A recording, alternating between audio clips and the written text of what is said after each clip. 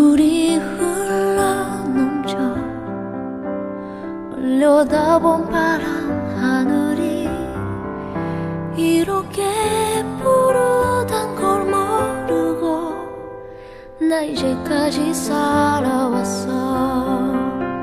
내 마음 속에 있는 사막에서 차올라오는 소중한 이제 영원히 믿고 싶어 세상에